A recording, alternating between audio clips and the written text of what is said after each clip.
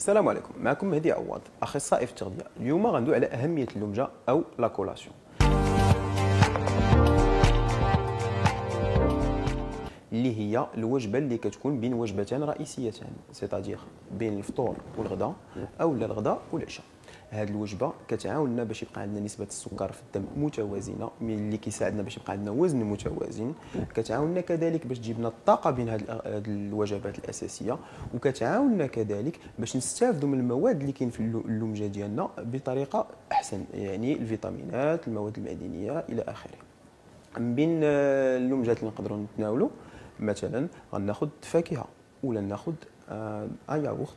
ولا نقدر ناخذ آه الفواكه المجففة يعني آه الزبيب أو التمر أو اللوز الكركاع اتسيتيرا اتسيتيرا هذا غيساعدنا باش يبقى عندنا طاقة طيلة اليوم وغيساعدنا كذلك بالنسبة للنساء الحوامل انها ما غتجيش ديك السخفة بين آه بين الوجبات. كنشكركم على التتبع ديالكم والى الحلقة المقبلة إن شاء الله.